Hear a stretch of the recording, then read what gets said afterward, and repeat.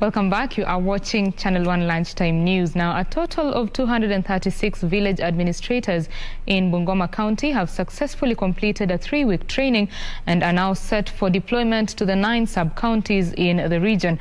Bungoma Governor Wycliffe Wangamati urged the administrators to maintain discipline, servant leadership and steer clear of activities that compromise their integrity.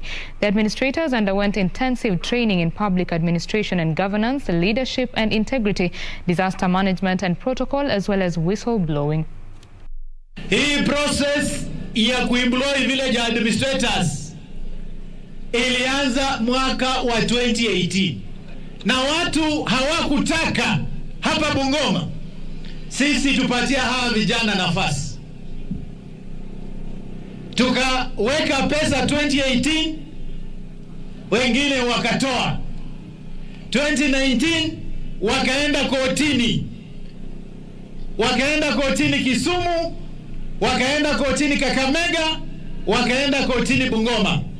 Lakini mimi nikasema liwe liwalo, usiku mchana, vijana na wasichana wa Bungoma watapata kazi.